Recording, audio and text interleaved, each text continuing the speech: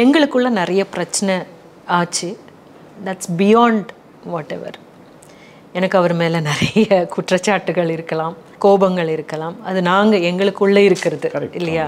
அந்த இடத்த தாண்டுனா வந்து as a artist and as a person அவரை வந்து நாங்கள் எங்களுக்குள்ள தான் இருக்கார் அவர் ஆனால் ரிஷியை பொறுத்த வரைக்கும் ரிஷியுடைய ஒவ்வொரு ஒவ்வொரு வார்த்தைக்குள்ளேயும் அவனுடைய மெச்சூரிட்டியை பார்க்கும்போது அவனுடைய புரிதலை பார்க்கும்போது அவனுடைய எல்லாத்தையும் பார்க்கும்போது